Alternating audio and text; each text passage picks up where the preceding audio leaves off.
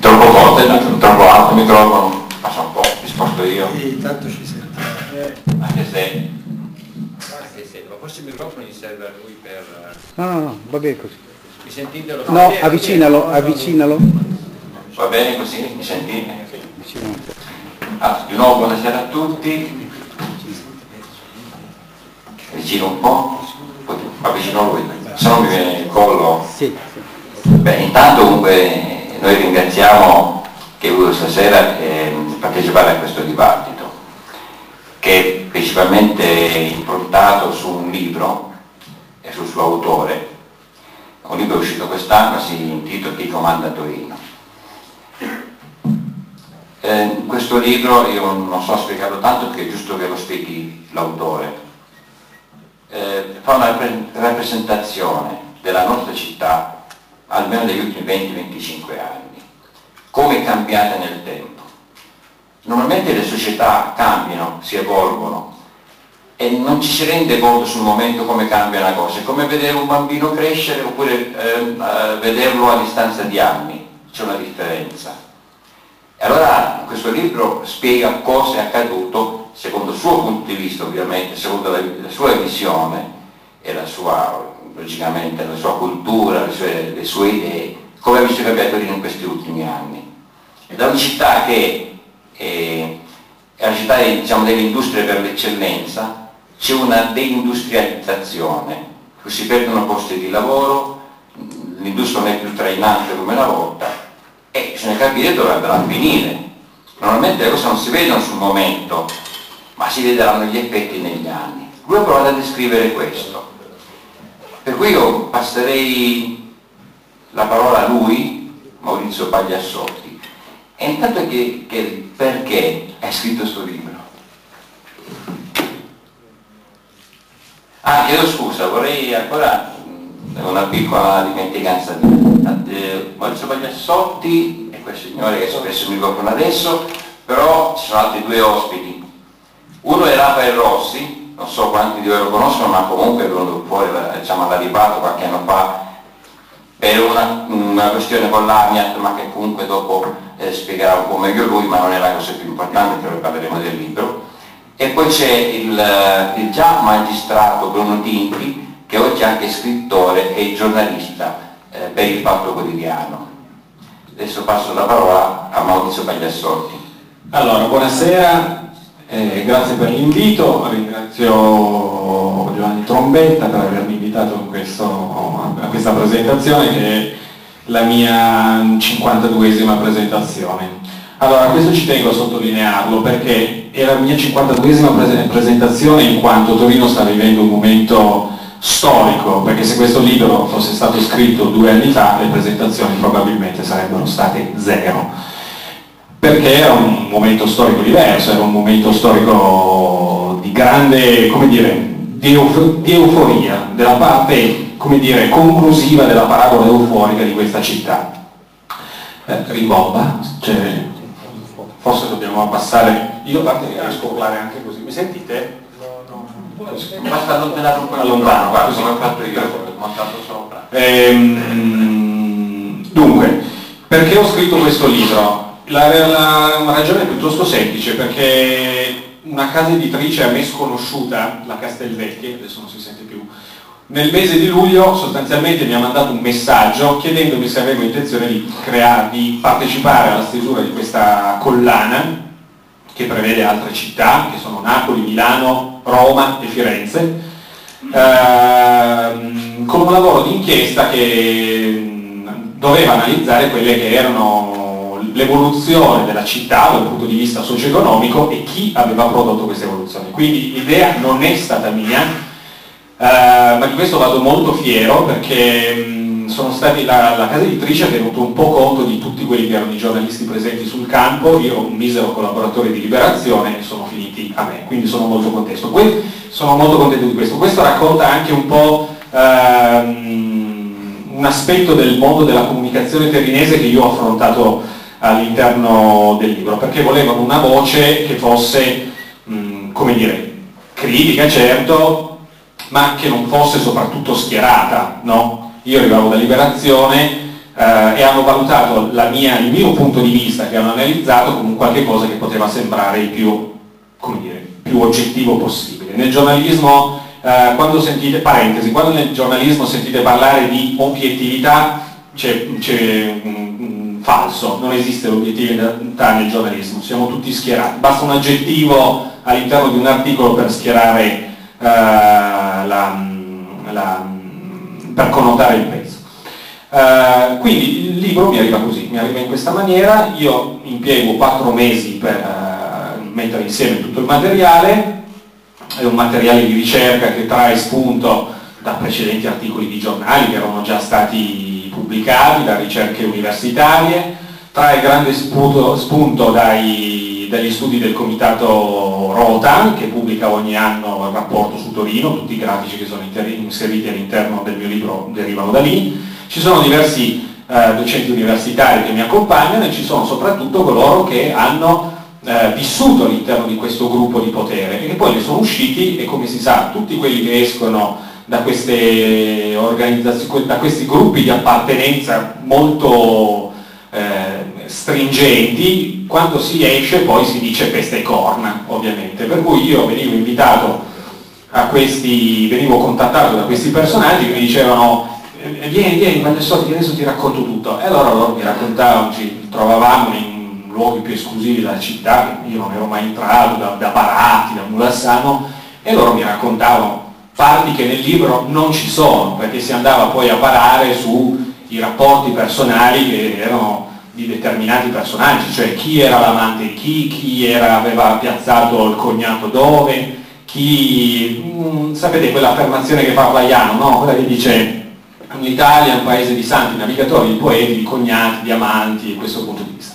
Però io tutta questa parte qua mh, ho reputato giusto non metterla nel libro anche perché insomma non ha nessuna importanza.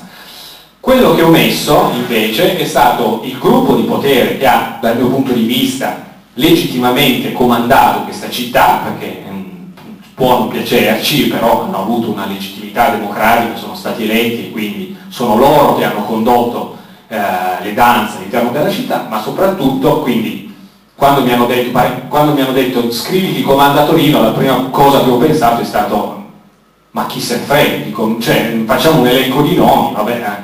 la parte che ho voluto, ho tentato di sviluppare il più possibile è stata quella di cosa ha prodotto questo gruppo di potere, che sono circa 30-40 persone circa.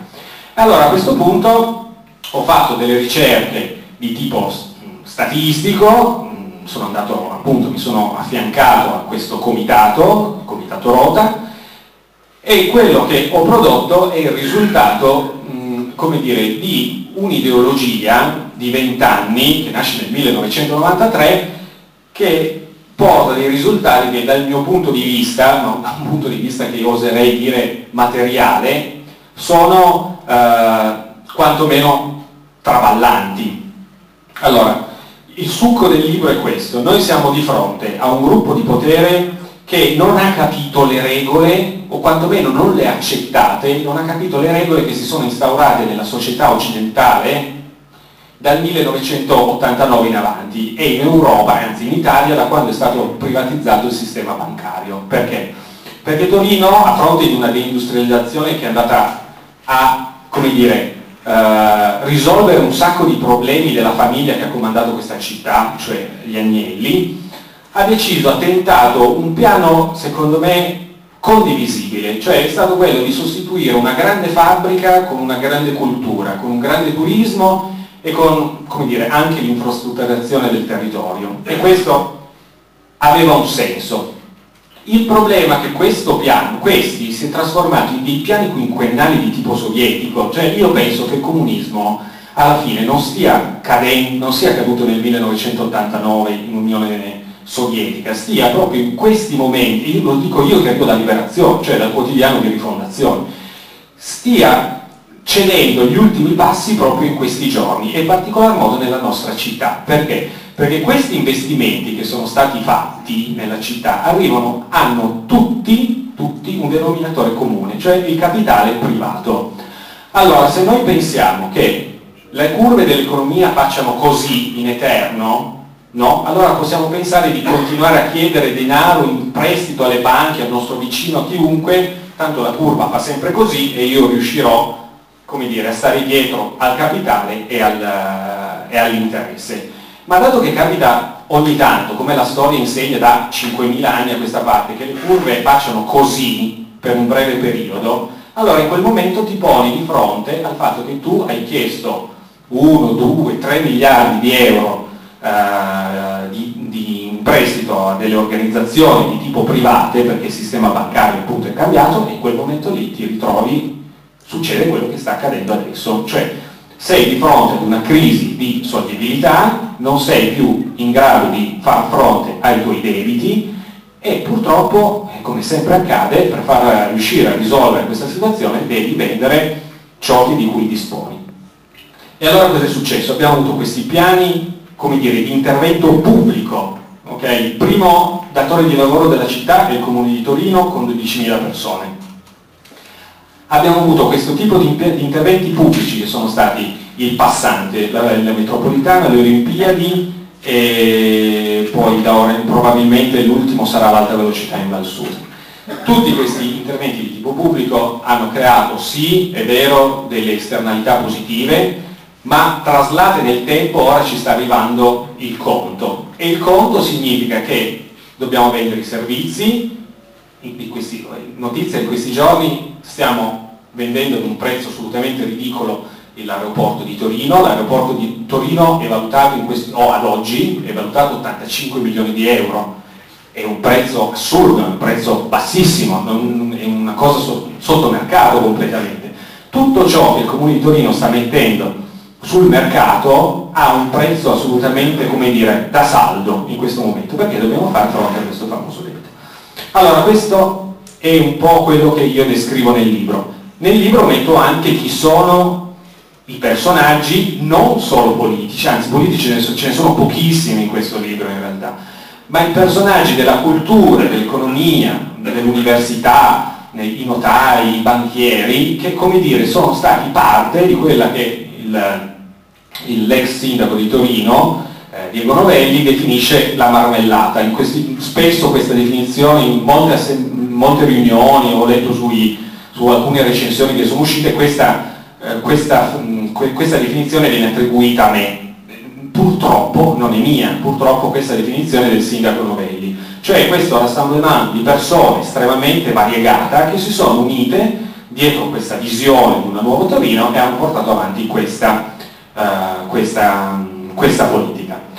Uh, chi sono? Allora, quindi chi, chi, ha comandato questa città, che ora non comanda più, Torino sta vivendo un vuoto di potere come sta vivendo un vuoto di potere l'Italia. Sono sicuramente il banchiere Enrico Salza e poi ci sono personaggi a lui affini, che sono eh, Angelo Venessia, sono il notaio Marocco sicuramente, sono eh, la Cristellen, il marito che ha avuto, ha avuto un ruolo molto importante, per poi arrivare fino a alcuni personaggi delle eh, del mondo delle, delle, dell'edilizia, eh, delle cooperative, eh, del credito, insomma, se, nel libro c'è tutto. Ci sono, spesso mi chiedono, ci sono passaggi in cui tu accusi di qualcosa in questo libro, questo, questo, quell'altro? Sicuramente io come dire, muovo delle critiche rispetto a alcuni personaggi che hanno avuto delle ingerenze dal mio punto di vista eccessive nella vita pubblica di un'istituzione e che quindi come dire, hanno indirizzato al di là di quella della legittimità uh, le scelte che poi sono state portate avanti da un consiglio comunale. Quindi io questa, sicuramente uh, questa critica la muovo. Parto invece da un punto di vista decisamente, come dire, eh, più eh, morbido, che forse è un pregiudizio solamente positivo, che questa sia stata una città dove il malaffare non ha albergato, cioè dove non ci sia stato eh, il mariuolo che si è messo in tasca quello, quello, quell'altro, ma questo forse va al di là di quello che è accaduto realmente. Quindi io nel mio libro non taccio nessuno di ruberie, piuttosto dico che la classe dirigente di questa città semplicemente ha ottenuto a fronte di un impegno da parte delle istituzioni private, appunto delle banche, e da parte delle istituzioni pubbliche, perché poi a Torino è arrivato anche un flusso di denaro pubblico che non ha precedenti nella storia della, della, del dopoguerra in nessuna parte d'Italia, un flusso di denaro che ha prodotto dei risultati eh, mediocri. Ehm, il libro ehm, spero che io, possa, io spero che possa avere un seguito. Il libro ha avuto, eh, al di là di ogni aspettativa, come dire, un'accettazione da parte della città che racconta, ehm, racconta proprio il fatto che mh, siamo in un momento di grosso cambiamento e di grossa sofferenza nel, nel nostro, sul nostro territorio, perché sono convinto che il mio libro, come dicevo all'inizio, e qui vado a concludere, eh, se fosse stato scritto nel 2007 non sarebbe stato letto solamente dagli avvocati eh, di chi eh, appunto è citato qua sopra e io non, non, avrei avuto, probabilmente avrei avuto sette lettori e sette querele. In realtà ho avuto, ehm, diversi, il libro sta vendendo diverse migliaia di copie e insomma non si è ancora mosso nulla, il che vuol dire sono andato, che sono andato ad affrontare degli argomenti con una sostanza che, per la quale non, non è, nessuno si è offeso, ecco, perché siamo di fronte a una, dei dati che sono incontrovertibili. Eh, dicevo del mio prossimo lavoro, che spero di riuscire a fare, che dovrebbe affrontare, e poi magari qua mi um, porgo qualche domanda, sarò io che farò qualche domanda a Bruno Tinti, che dovrebbe affrontare il fatto che in questa città un capitolo assolutamente mancante è il capitolo della criminalità organizzata, che sta venendo fuori prepotentemente proprio in questi giorni, cioè quanto la criminalità organizzata abbia portato delle radici all'interno di questo territorio, dove le abbia portate e chi le abbia portate. Mi riferisco all'inchiesta Minotauro, che sta avendo svolgimento in questi giorni e che secondo me può avere delle aderenze con dei passaggi particolarmente critici che sono avvenuti in questa città e mi riferisco, eh, mi riferisco appunto alla gestione, a un capitolo che io ho dedicato nel libro che era la gestione dei giochi olimpici. Ho risposto? Manca nella tua domanda che... Nella tua domanda che farai al dottor Tinti, hai parlato di criminalità organizzata però una cosa che ho notato che non c'è nel libro è che in tutto questo passaggio, perché c'è stato un passaggio, stato un passaggio di soldi enorme, non c'è una traccia di corruzione. Cioè evidentemente o eh, doveva andare così, i soldi erano, sono stati spesi giusti, o c'è qualcosa che non ha funzionato, cioè manca proprio, cioè, normalmente nei rapporti tra pubblico e privato c'è quella la corruzione, e infatti poi parleremo anche con Lambert di questo problema, cosa, cosa vuol dire lavorare all'interno di queste diciamo, amministrazioni. Qui non, non c'è evidentemente un, una parvenza di questo, o mi sbaglio? No, non c'è una parola sulla corruzione, io su questo passerei. Si fa riferimento a Zampini. Ah sì, ma stiamo sì. parlando dei tempi, dei tempi, che fu del 1900, dello scandalo Zampini, che, come dire, è, una, è una matrice. Uh, su questo passerei la parola a Rafael perché lui ne sa decisamente più di me. Io come ho detto sono partito come dire, da un pregiudizio positivo, cioè le persone, cioè la, la politica della città in questi vent'anni, la sua vita economica, non è stata inquinata dal mio punto di vista da, può, può essere anche sbagliato, da eh, dalle ruberie, perché, eh, anche perché sono, so, bisogna avere qualcosa in mano per riuscire a scrivere una cosa del genere, io personalmente non ho, eh, non ho avuto nulla. Ci sono appunto dei, dei passaggi relativamente alle Olimpiadi, ad alcune affermazioni appunto del pentito Baragalli che vanno eh, in questa direzione. Il fatto che però i soldi siano stati eh, sprecati si può dire, non lo so, siano stati mal utilizzati probabilmente, anziché rubacchiati, è, dire, è un, sì, non, mm, è come, dire, come il libro, no? le, le, sfumature, le 50 sfumature di, di, di, quello che è, non mi ricordo più, siamo comunque di fronte a delle zone grigie che possono avere delle sfumature eh, più, o meno, più o meno visibili.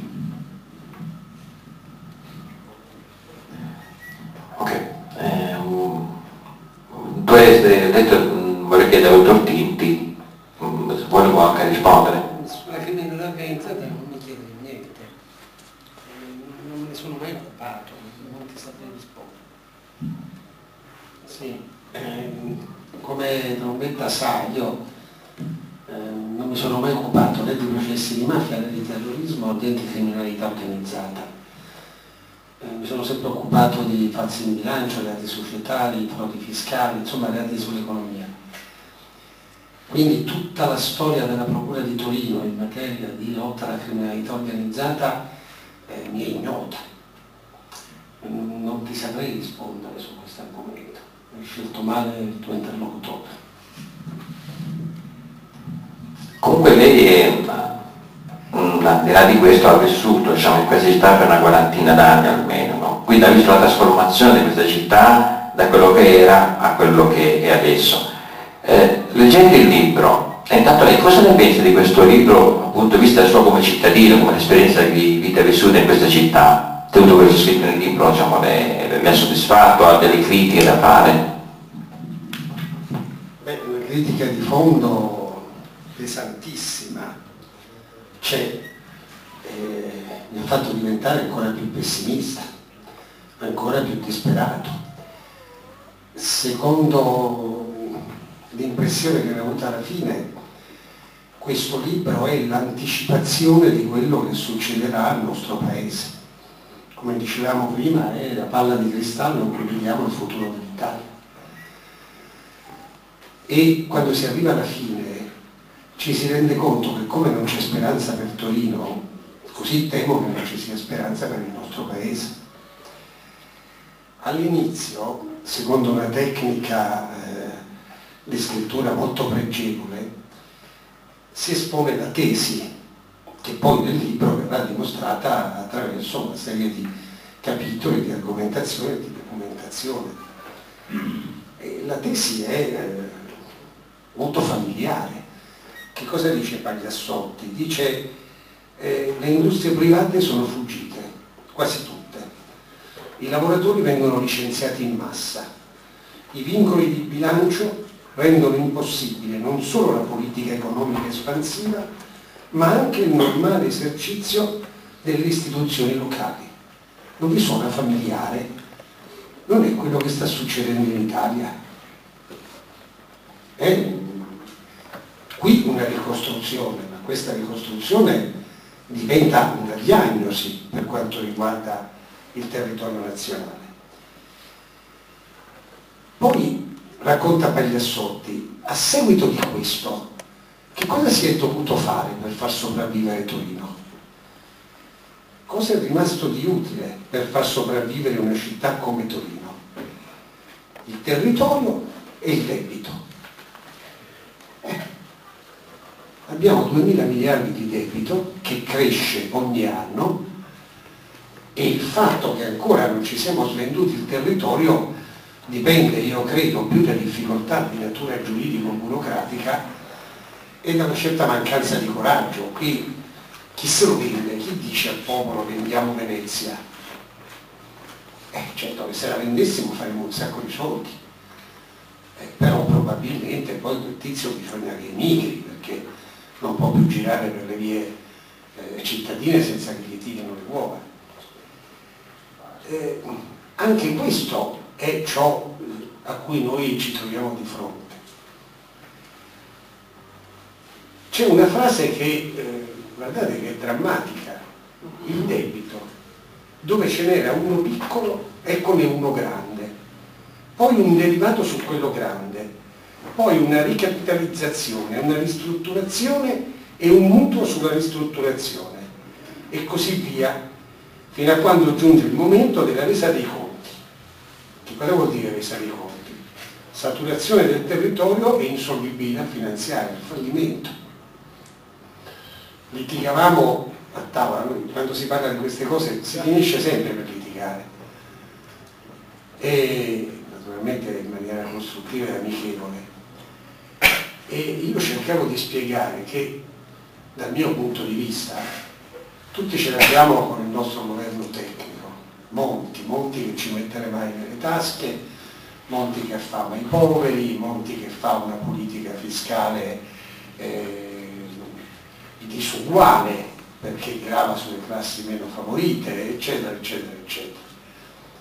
E io cercavo di spiegare che tutte queste cose sono vere, ma che non c'è scelta. Cercavo di dire che nell'agosto del 2011 eh, i miei amici che mi erano rimasti dal tempo in cui facevo il procuratore della Repubblica nel settore istituzionale, legge agenzia delle entrate, guardia di finanza, banche, mi spiegavano, agosto 2011, che non c'erano i soldi per pagare gli stipendi ai pubblici dipendenti nel novembre. E io cerco sempre di far capire, ma vi rendete conto che cosa vuol dire uno Stato che improvvisamente non paga gli stipendi a 20 milioni di famiglie? Arrivano al 26 del mese gente che ha il mutuo, che deve fare la spesa, che... insomma sappiamo tutti come si vive, e non hanno soldi, non glieli danno. E di fronte a questa realtà drammatica, tutto il resto passa in secondo piano. Si fa cassa dove si può. E dove si può? Eh, si riducono le pensioni, perché tanto quelli non possono evadere. Alla posta invece di trovare 1000 euro ne trovano 800. Poi protestano, ma intanto io 200 euro li ho presi. Si tassano gli stipendi dei eh, dipendenti, dei lavoratori dipendenti, anche quelli non possono protestare, cioè protestare possono, ma i soldi io intanto li riprendo. E quello che descrive Pagliassotti a Torino è questa situazione. Viene meno l'industria, il debito cresce, si avvia una speculazione edilizia destinata a finire con l'esaurirsi della domanda. E di terreni magari ce n'è, eh, di costruttori pronti a comprarli con un pezzo di pane ci sono anche, ma poi qualcuno deve comprare gli appartamenti. E come dico, questa, questa tesi iniziale, questo discorso alle pagine 24 e 25, guardate che non fa dormire la notte, perché quando parliamo dell'Italia parliamo di qualcosa che temiamo che succeda. Qui Pagliassotti ci racconta di qualcosa che è successo e noi non ce ne accorgiamo solo perché la nostra città sta vivendo, sfruttando il debito nazionale come tutto il resto del paese. Ma è già successo.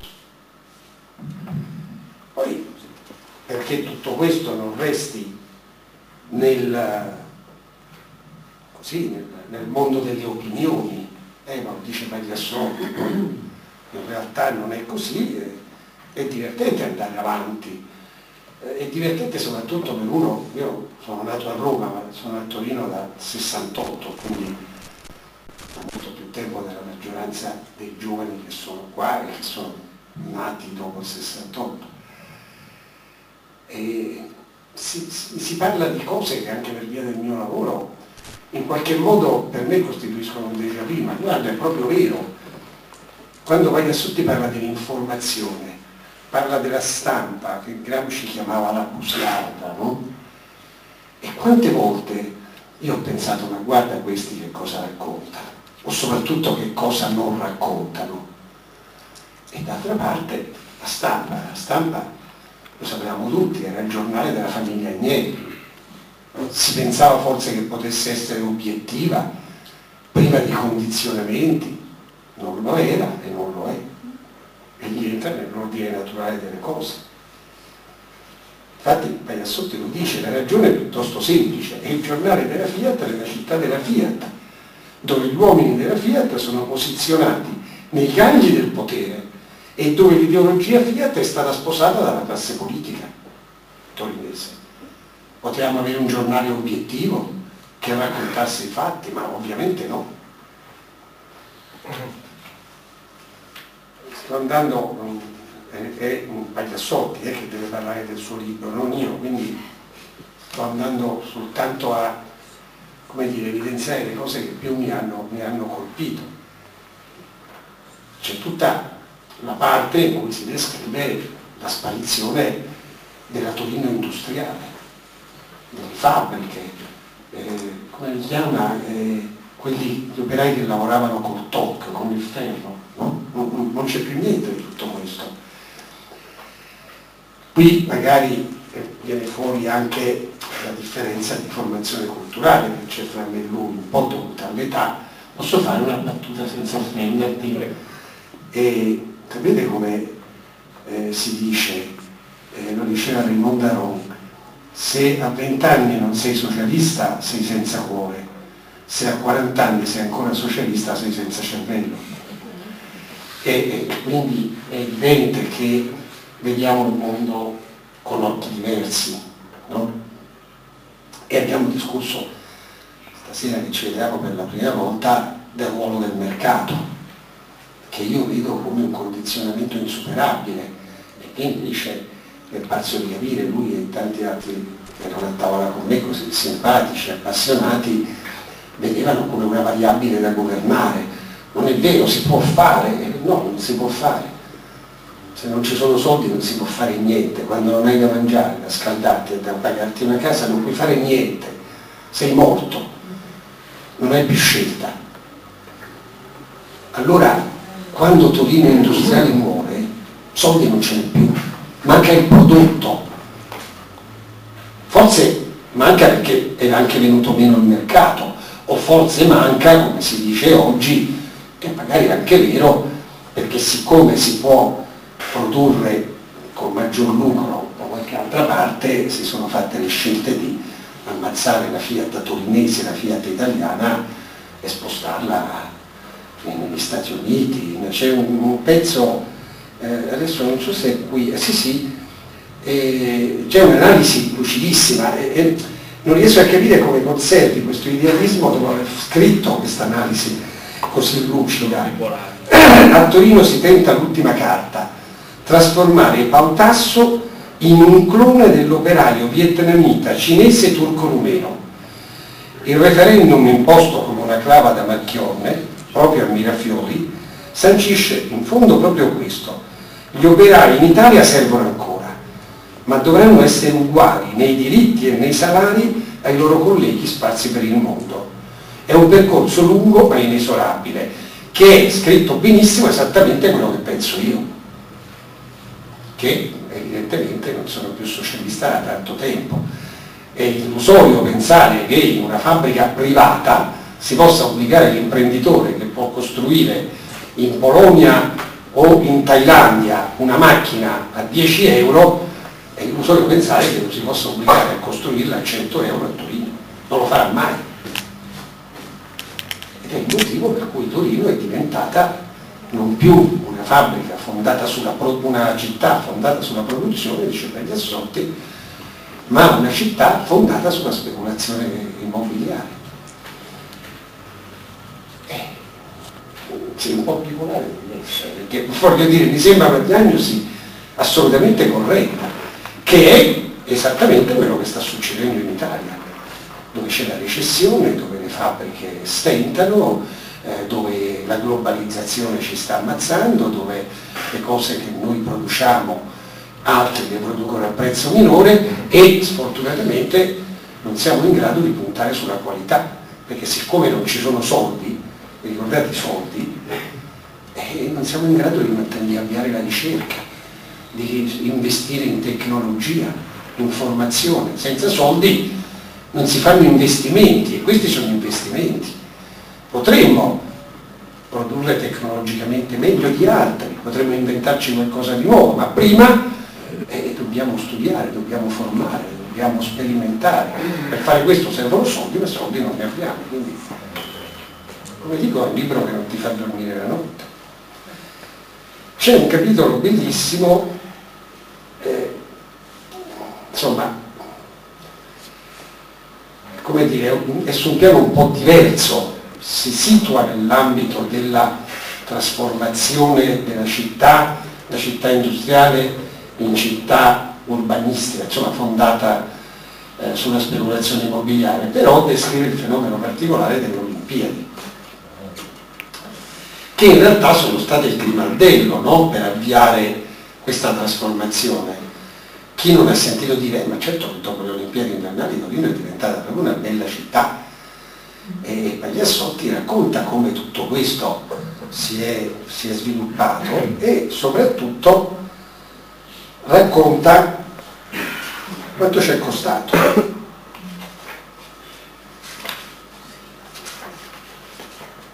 Questa cosa è, è micidiale, eh? soprattutto perché Pagliassotti dà conto del fatto che all'inizio uno sparuto gruppetto di, di Cassandre, che ovviamente non piacevano a nessuno, il comitato No Olimpiadi, aveva sostenuto la tesi secondo cui l'organizzazione di un evento come le Olimpiadi avrebbe stroncato il bilancio del comune di Torino per anni, forse per sempre, è esattamente quello che è successo. I giochi, dice Pagliassotti, ambiti da Gianni Umberto Agnelli, Gabriele Galateri di Genova, o di Genova, non so come si dice, che era il marito di Evelina Cristillen, quella che andava in giro a promuovere eh, Torino, città olimpica, vi ricordate, aveva un bel sorriso, campionessa di sci. Ed Enrico Salza sono costati complessivamente 3 miliardi e 300 milioni di euro. 1 miliardo e 200 milioni nella gestione diretta dell'evento, tecnologia, trasmissione tv, gestione impianti ed eventi. Il resto infrastrutture e soprattutto promozione mediatica, 3 miliardi e 200 milioni.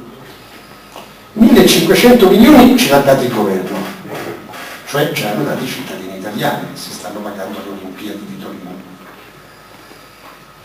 800 milioni teoricamente le hanno date le banche, ma siccome le banche erano garantite dallo Stato, sempre l'Italia l'ha date a Torino. All'inizio, quando si parlava di Olimpiadi, il budget stimato era di 500 milioni, sono diventati 3 miliardi e 200 milioni. Calcolando quello che le Olimpiadi hanno reso, e cioè sommando i valori massimali, questi pagliassotti, eh, quando in basso leggo quello che dice lui, relativi a turismo, benefici derivanti da nuove infrastrutture e vendita locataria di appartamenti che poi sono stati venduti, si raggiunge quota 2,5 miliardi di euro, cioè sono stati incassati 2,5 miliardi di euro. Nella migliore delle ipotesi, le Olimpiadi di Torino hanno cagionato una perdita di 800 milioni di euro. Una città, solo per le Olimpiadi, un debito di 800 milioni di euro che, attenzione, in tasca di qualcuno sono andati. Dove sono andati? Lo dice qui, dove è finita la parte in cui spiega chi è che si è incassata questi soldi?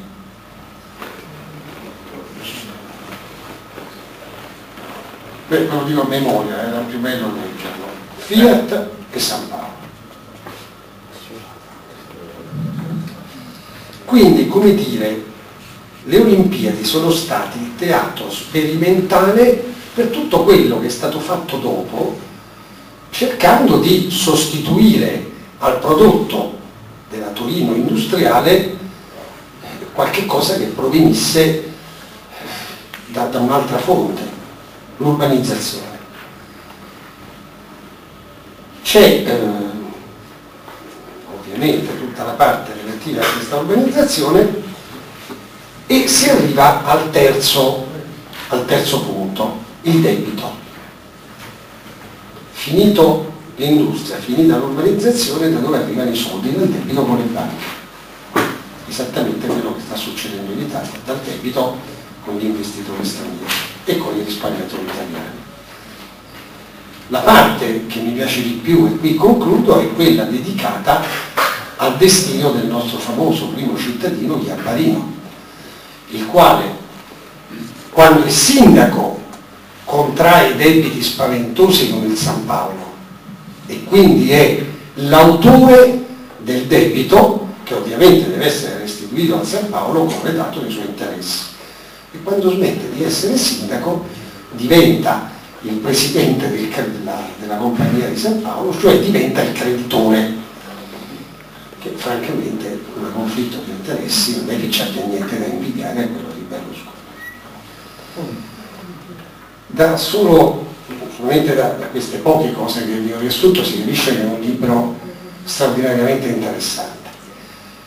È scritto in maniera semplice, si legge bene, non ti venisse da piangere, qualche volta c'è anche da ridere naturalmente, solo che è un libro drammatico. E se avete abbastanza saldezza d'animo vi consiglio di leggere.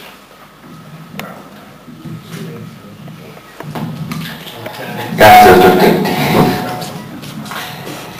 Eh, in effetti è vero, anch'io leggendo il libro ho avuto le stesse sensazioni che ha avuto il dottor Tinti.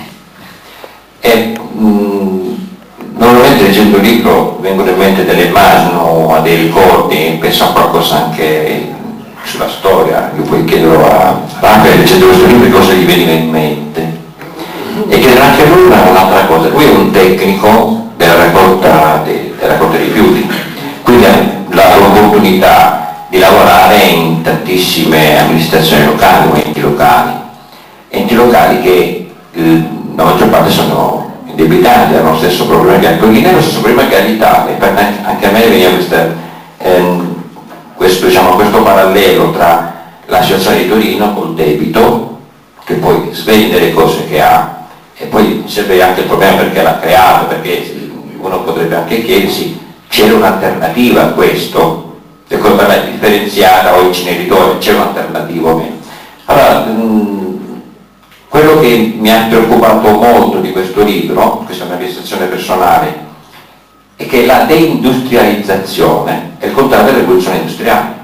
Una volta c'è stata la rivoluzione industriale, e prima c'è stata la rivoluzione francese, si parlava di masse, si comincia a parlare per prima volta di masse, di eh, classi di persone, eh, lavoratori, no? tutti insieme per un prodotto spinto, no? ci fosse il consumismo. Adesso si va verso l'individualismo, perché si è più poveri e si sta attenti, si ha paura e questo porta a isolarsi ed è poi pericoloso questo qui. E su quello diceva anche, anche parlo del libro, fatto di diventare cinesi, in effetti è vero, se noi andiamo a vedere gli ultimi contratti che stanno firmando i sindacati insieme agli imprenditori e al governo vanno su quella direzione.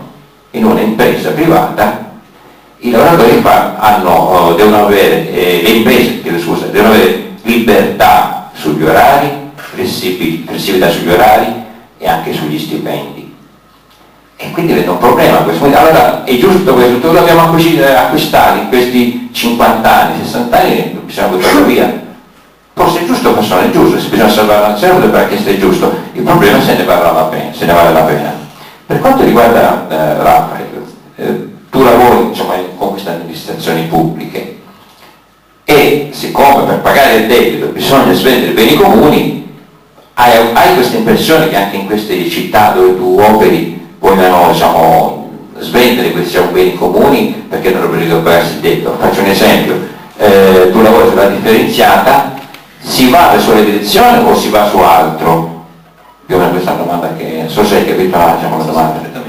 Diciamo che io eh, ho un, come citavi, ho un punto di osservazione particolare perché adesso sono 12 anni eh, che lavoro e ho sempre lavorato eh, in giro per l'Italia per aziende, eh, scusate, per eh, o aziende pubbliche eh, oppure per amministrazioni pubbliche, mi sono sempre occupato in effetti di appunto di organizzazione del settore dei rifiuti, di raccolte differenziate e quindi eh, su questo settore avevo eh, ed ho un punto di vista. Ehm, devo dire che ehm, purtroppo eh, il, ehm, il, la, nella fase in cui siamo moltissime sono la quasi totalità delle amministrazioni comunali sono eh, indebitate all'inverosimile e dappertutto si vedono ehm, proprio le cose di cui scrive Maurizio nel suo libro, cioè il fatto eh, che le, mm, diciamo, le, amministrazioni si sono indebitate per costruire,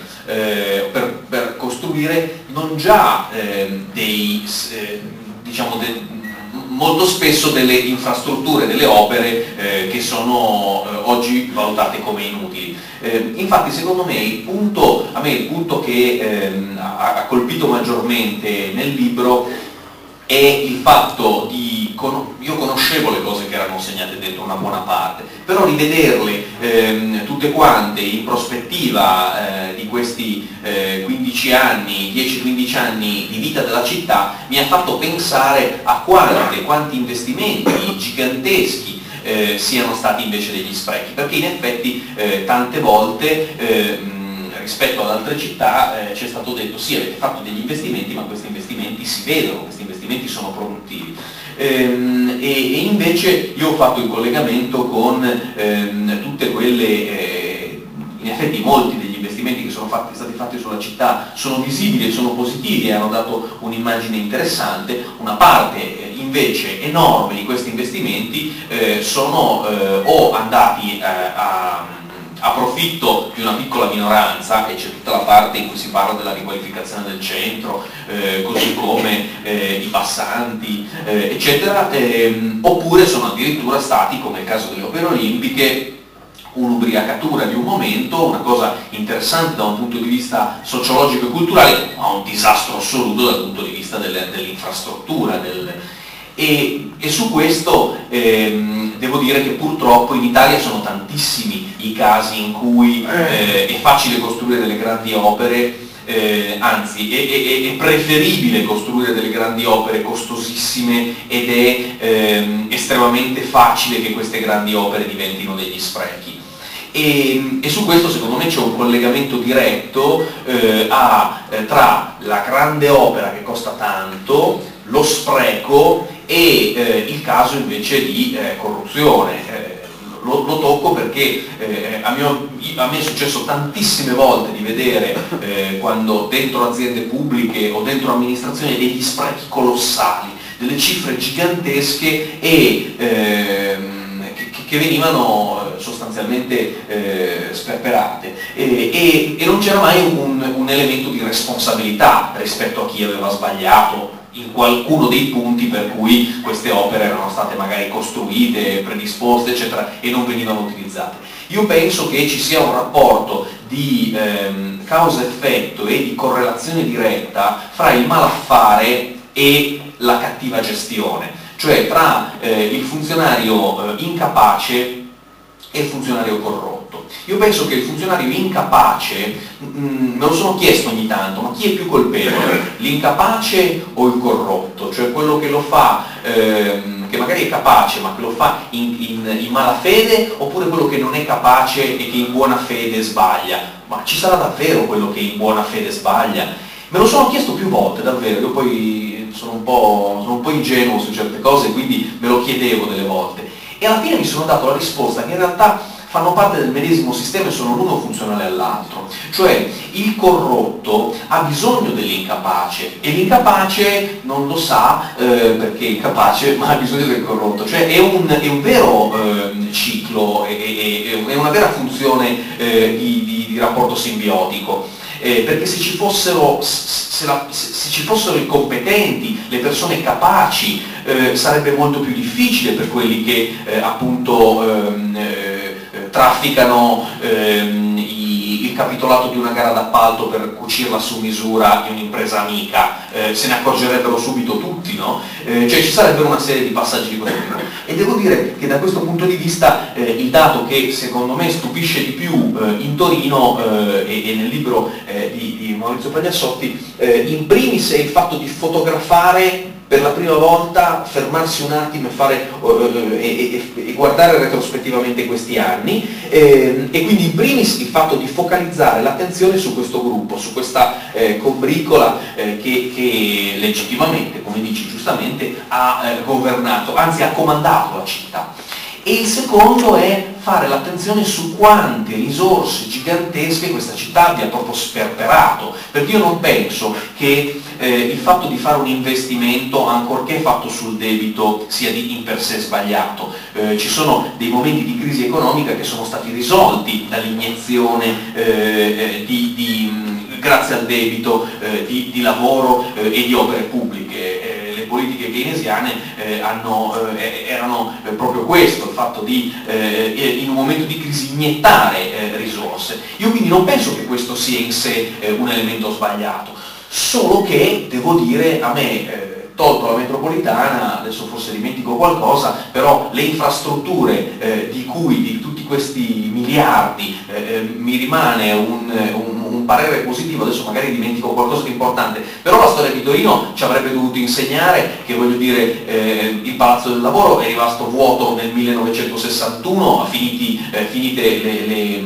le, celebrazioni e come questi chi conosce la città eh, ne, ne, penserà 10 di strutture eh, che, che, che erano, hanno costruito il lingotto senza pensare a cosa fare di Torino Esposizioni, hanno fatto, eh, voglio dire, di, di, non è solo la storia recentissima della città che ci insegna che ci sono stati degli sprechi colossali, delle strutture di cui non si sa, che sembravano un problema invece di essere una risorsa, dopo essere costate cifre gigantesche, ma perché a mio avviso eh, c'è proprio dietro un disegno, nel senso che spendere 100 milioni di euro è molto meglio in una botta, è molto meglio che spendere 100 milioni di euro in 10 anni a ricostruire eh, eh, delle scuole, a rimettere a posto. E io dico una cosa forse un po' crudele, ma eh, se eh, in un liceo di Rivoli crolla un controsoffitto e muore un ragazzo è proprio colpa di queste cose, è colpa del fatto che eh, per una certa eh, classe politica, purtroppo molto vasta, è più facile ricostruire da zero, costruirne uno nuovo e se possibile pagare il custode di quello vecchio, piuttosto che fare un lavoro piccolino di piccola manutenzione per portare avanti eh, le, le, questioni. E, e, penso anche che questa classe politica che ha amministrato la città in questi anni ehm, abbia anche un torto grave che ehm, forse eh, io ritengo essere quello di non aver, di, cioè, di non aver ehm, forse per il fatto, eh, come dicevi Maurizio, per il fatto di provenire da quella storia grandiosa e straordinaria che era quella della sinistra eh, italiana e torinese, eh, di non aver avuto il coraggio di dire quello che effettivamente pensavano in politica. E, e questi soggetti pensavano in politica eh, eh, un, la totale liberalizzazione dei servizi eh, e, e, e, cito il dato che citavi anche tu, che mi tocca da vicino, della, della vendita eh, delle quote private di Amiat e di, di ETRM, che sono state fatte con una bugia colossale, che io mi sono stupito moltissimo che nessuno, eh, nessun politico, nessun giornalista abbia denunciato. Ed è il fatto che tutti eh, i media e anche tutta la classe politica ha detto vendiamo TRM e Amiat per fare cassa e dicevano siamo in grande difficoltà economica, la vendiamo perché abbiamo bisogno di quei soldi, l'avete sentito tutti, no? Avete sentito tutti che dicevano vendiamo non perché vogliamo vendere, no, vendiamo perché dobbiamo vendere. Adesso eh, io che appunto eh, conosco i conti dell'Amiat, conosco molto bene i numeri eh, dell'Amiat, eh, quando ho visto i numeri ho detto ma eh, si vende, eh, adesso le ultime cifre sono 32 milioni di euro per l'Amiat, e io ho detto diamine, 29. Eh, adesso 29 con l'ultimo abbassamento e allora 29 eh, milioni di euro sono diciamo 30 euro per ogni cittadino torinese, diciamo.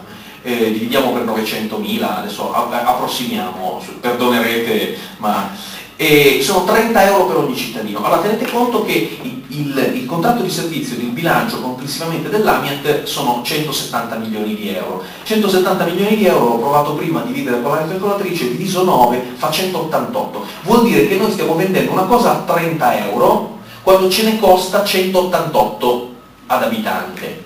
Allora eh, capite bene che non è per fare cassa, perché tu non venderesti una roba che a 30 euro se te ne costa 188 all'anno, capite bene la, la, la distanza. Eh, la stai vendendo perché credi profondamente che il mercato sia migliore, sia la soluzione giusta o nella migliore delle ipotesi, nella peggiore è perché vuoi favorire qualche gruppo industriale. Ma se credi questa cosa sarebbe stato molto più onesto dirlo, sarebbe stato molto più onesto, uno poteva essere d'accordo, non essere d'accordo, ma dire il motivo reale e non ad esempio utilizzare il fatto che eh, l'inceneritore doveva rimanere a gestione pubblica perché, perché garantiva di più e, e, poi arrivare a privatizzarlo eh, all all'ultimo momento.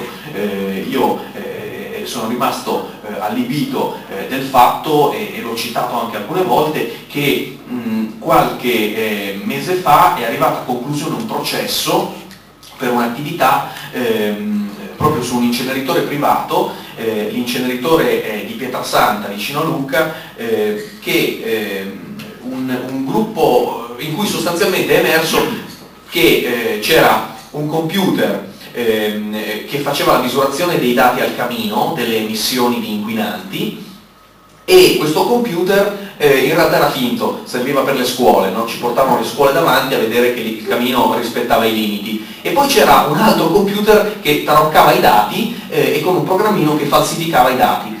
Allora questa cosa è andata avanti per anni e poi ehm, hanno denunciato, eh, e la cosa buffa è che non, non, se ne sono accorti la Guardia di Finanza, l'ARPA, il NOE, eccetera. È successo solo che cambiata la proprietà, è entrato un gruppo, una multinazionale francese, Veolia, eh, che ha comprato quell'impianto e ha voluto non non avere più eh, la responsabilità di quello che era successo prima. Eh, qualche, qualche, cattivo ha detto ha voluto aggiornare il software. Comunque ha, non ha fatto altro che fare la denuncia.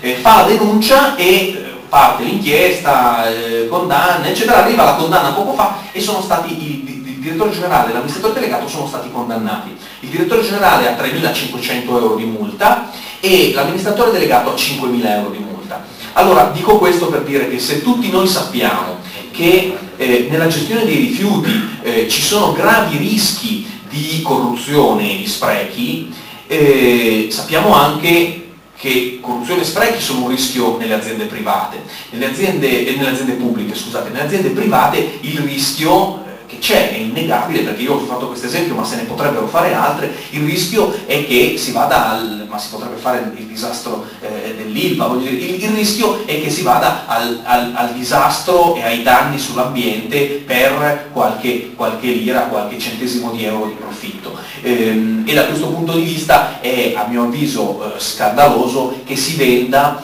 eh, un, un, bene pubblico, eh, tanto più un bene pubblico il cui controllo può avere una ricaduta così grave sulla cittadinanza e che poi lo si venda per eh, delle cifre così impressionanti. Eh, ed è scandaloso quando si mette questa cosa a confronto con quello che abbiamo sprecato. Io avrei preferito, eh, perché non abbiamo venduto la pista, eh, la, la, il trampolino da sci, perché non abbiamo venduto, voglio dire, le, le roba che lo sappiamo perché venduto, perché non vale nulla e perché costa ogni anno ai cittadini, per questo non l'abbiamo venduto, però l'abbiamo pagato e questa è una cosa estremamente grave. Eh, e quindi stupisce, stupisce davvero eh, che eh, di queste cose ci sia stato bisogno, lo dico anche per me direttamente, di leggerle nel libro di Maurizio, leggerle, vederle tutte in fila mi ha fatto eh, anche accapponare la pelle ed arrabbiare, eh, se no in effetti ero anch'io un pochino ehm, ubriaco di questa ubriacatura olimpica della quale vedevo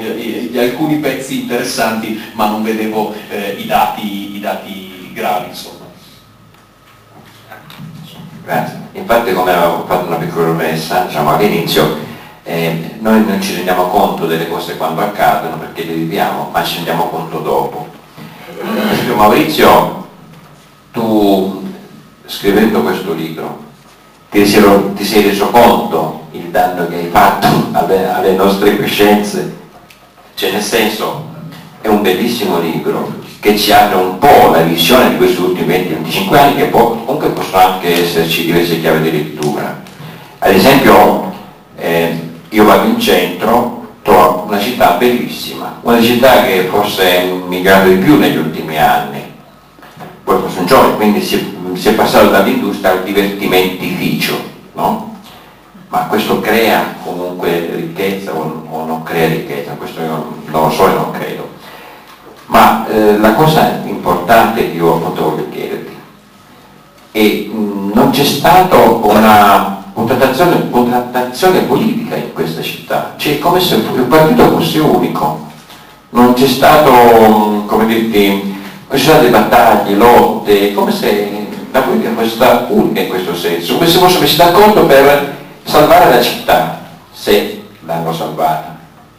Quindi tu sei posto questa domanda proprio dal punto di vista politico, ma non c'è stata... Il libro può essere letto veramente in maniera bipolare, perché eh, che l'ex sindaco della città sia passato da debitore a creditore, beh, buona parte della città lo vive come un valore, cioè che bello, uno dei nostri è andato a fare gli interessi della città, è passato a capo della Compagnia di San Paolo, vuol dire che continuerà a fare gli interessi del territorio io ho avuto una presentazione appunto con dei funzionari della Compagnia di San Paolo che mi hanno detto ma guarda che il mestiere che faceva Chiamparino non è cambiato nel giro di, di questi anni, era mm, dato che le banche sono quello strumento che utilizza, che, che come dire, nel, nel suo fine più alto è quello strumento che le istituzioni utilizzano per governare territorio, Chiamparino è rimasto all'interno di quello, quello strumento. Io, eh, probabilmente questa è una visione, come dire, torinocentrica, però dato che eh, Intesa San Paolo è un bene dell'Italia, probabilmente al investitore, al piccolo azionista di Catanzaro, magari non può andare bene questa situazione, no? cioè, che ci sia il primo azionista della, della, della città che, che, che, fa, il primo azionista di, di, di, della, di, una banca che fa gli interessi eh, puntuali di, un territorio. Non lo so, anche questo è estremamente eh, può essere oggetto di, sindacabilità. Sicuramente non è di buon gusto, eh, buona parte di quello che è successo in questa città eh, non ha nulla a che fare con l'illegalità, ma ha a che fare con l'assenza di mh, probabilmente del buon gusto e quantomeno eticamente moralmente, qua entriamo in campi che sono assolutamente insondabili, eticamente e moralmente eh, traballanti. Eh, prima si chiedeva dove sarebbero, le, dove sarebbero finiti i giorni delle, i, buona parte del denaro delle Olimpiadi, una parte del denaro delle Olimpiadi. Beh, io qua dico di nuovo Bruno Tinti che esiste un signore che si chiama Rocco Baracalli, che durante una trasmissione, report, a un certo punto viene portato in giro per la città e per la Valsusa dal giornalista, questo signore Rocco Baracalli, che è reputato credibile dalla procura, perché sulle sue dichiarazioni sono state instaurato tutto il processo Minotauro, Beh, questo signore dice semplicemente no, le opere olimpiche, ma poi le abbiamo fatte tutte noi. E allora il giornalista chiede, ma come le avete fatte tutte voi? Sì, sì, tutte noi, tutte noi, era per più facile. E su YouTube, andate a cercare su YouTube, mettete Rocco Baracalli, eh, Valsusa, troverete esattamente queste, queste affermazioni. Io trovo che queste affermazioni possano essere oggetto di interesse da parte della, debbano essere oggetto di interesse da parte della magistratura. Magari si scopre che Varacallo è un millantatore, si scopre che è semplicemente uno che si inventa delle storie, però magari si scopre anche, boh, si possono fare delle misure camerali su chi ha costruito queste, queste, queste opere, scoprire anche delle cose interessanti. La città è migliorata, è vero, la città è decisamente migliorata, è vero, è riconosciuto da tutti, Uh, il centro cittadino è diventato veramente un salotto. Io all'interno del libro però mi sono permesso di eh, mettere un grafico che racconta come in 30 anni siano cambiate eh, non gli aspetti estetici della città, bensì gli aspetti eh, sociali ed economici. Cioè siamo passati da un territorio, eh, ecco qua, adesso ve lo faccio vedere. Allora, questa, adesso sono un po' lontano, la vedete, è la città del 1971 allora ci sono varie sfumature di grigio che rappresentano i problemi, mentre il bianco è ciò che funziona. Qua siamo nel 1971. Se noi andiamo a oggi, questa è una ricerca di una tesi di laurea di architettura, di una studentessa di architettura che mi è stata fornita dal professor Luca D'Amico, che è un docente di sociologia appunto, che cura per il Comitato Rota il rapporto sul se voi guardate questa pagina, vedete il puntino bianco dove è finito, è finito nel centro, che è la parte di territorio che è diventata la vetrina della città. Quindi, mentre alcune parti sono sicuramente migliorate in, della città, anche in periferia, cioè i problemi sono diventati meno incipienti, mentre una parte, una buona parte è passata da bianca, cioè dove non c'erano problemi, è diventata grigia, cioè vuol dire che in questo momento ci sono delle sofferenze. Uh, le città moderne funzionano così, cioè si crea un centro che attira turista, uh, che è il luogo della cultura e tutto il resto, e che come dire funziona come da totem intorno al quale si uh, circonda buona parte della città e soprattutto il reddito che arriva da fuori. È stato studiato che colui che arriva a Torino fa un percorso fisso, cioè arriva a Porta Nuova, piazza Piazza San Carlo, Museo dell'Egizio, gira, va fino in Piazza Castello, dopodiché va al Museo eh, del Cinema e torna indietro. È un percorso standard che corrisponde esattamente a questo centro. Qual è quindi la critica che io muovo? Sono, sono schierato ovviamente, anche io sono di parte, esattamente come i, giornalisti che critico, che critico, su, questo, che critico su, questo, su questo libro. Però qual è il problema? Che esiste il fatto che c'erano state delle proposte che dicevano ma perché non spostiamo ciò che ammuffisce le nostre ricchezze, ciò che ammuffisce nei, nelle cantine del museo egizio non le spostiamo in periferie e ci creiamo dei musei o addirittura non li spostiamo alla venaria? Perché si vuole comunque mantenere quel centro della città che, eh, come dire, è la vetrina che deve raccontare un, una storia, deve raccontare la città. Quindi questo tipo di investimento è stato bocciato. Per quanto riguarda la bellezza, è come se qualcuno, io fossi andato a casa della mia fidanzata e gli avessi detto, senti, adesso io guadagno 1000 euro e sai cosa c'è? Ci facciamo la villa con la piscina e ci prendiamo anche il Porsche Cayenne. E chi se ne frega? Eh, ma non funziona così, è quello che è successo in questa città, perché poi alla fine la villa con la piscina e col Porsche Cayenne pare che poi alla fine uno debba anche, boh, magari, no? a meno che uno non viva di debito eterno, allora lì cose sì, se lo passi ai tuoi nipoti, ai tuoi bisnipoti, quelli che verranno, lo, fa, lo fai, lo erediti e, mm, e poi boh, chi verrà, chi vivrà, vedrà, speriamo che vada sempre eh, tutto bene. Eh, è per questo che io dico, è vero che ci sono un sacco di belle infrastrutture che hanno migliorato la vita del territorio, ma forse era meglio non fare la grandeur, è stato successo in questi anni, avere una visione più, dire, modesta e riuscire, dire, a ottenere un punto di equilibrio che, dire, preservasse gli equilibri di una città di circa 900.000 abitanti, ma nel suo insieme, perché questo è un momento di sofferenza sicuramente notevole per determinate parti della città, ed è un momento di sofferenza che si, ma si sta manifestando in dei conflitti veri nella città, cioè sotto il sindaco del, del povero Fassino, poveretto, che lui pensava di finire trionfalmente senza guai la sua carriera politica, si manifestano praticamente tutti i pomeriggi dei conflitti, addirittura due o tre per pomeriggio questo è indice di una situazione che io spero di no ovviamente, ma che si sta aggravando giorno dopo giorno. Aggiungo che la speranza io forse non l'ho messa in questo libro, ma la speranza c'è, voglio dire, a Babilonia nel 1761 a.C. poi avevano gli stessi problemi, cioè avevano una crisi del debito devastante. La crisi del debito non è una novità nella storia, è una cosa che è sempre accaduta, ma perché l'uomo ha questa tendenza al desiderio infinito, come diceva Sant'Agostino, insomma, è una cosa che, si, che ritorna ogni tanto.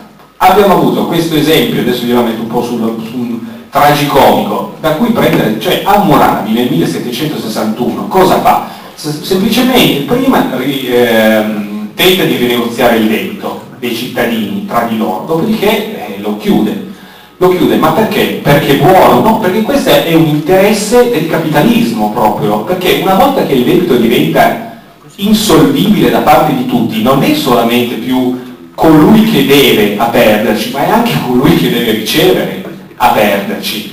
Quindi una rinegoziazione, io spero e auspico che questa funzione del nostro ex sindaco, che è a capo del pacchetto d'azioni principale della città, si possa concretizzare in una rinegoziazione del debito nell'ordine del 3%, che non è una cifra colossale, non è una cifra ovviamente eh, leggera, indubbiamente, ma che dire, darebbe respiro a questa città, ma darebbe respiro anche a un sistema creditizio, perché quest'anno ci siamo venduti TRM, AMIA, l'aeroporto e tutto il resto, ma un altro anno ci sono le lenzuola, ci sono le lenzuola e le posate, e una volta che abbiamo finito anche le lenzuola e le posate, è anche la banca quella che ci perde, perché la banca ha un miliardo e mezzo di debiti con, col comune di Torino, poi magari con i funzionari della compagnia di San Paolo dice vabbè ma sono bruscolini quelli, però eh, insomma di questi di crisi di liquidità mi sembra che possa essere interesse di tutti avere questa idea secondo me di buon senso. Grazie. Eh, prima diciamo di continuare a passare, lei vorrebbe replicare al signor Pagliassotti? Perché lei, chiedo scusa, lei ha fatto un'osservazione giusta, una famiglia in crisi, una famiglia in crisi del debito, la cosa che fa è cercare di eh, limitare questo debito, no? Che si fanno sacrifici tutti quanti. Il problema è che purtroppo in questo caso ci fanno soltanto una parte di cittadini e questa parte di cittadini, cittadini vorrebbero sapere se un, domani, se un giorno tu vai fatto questi sacrifici tornare a essere persone normali. Penso di no.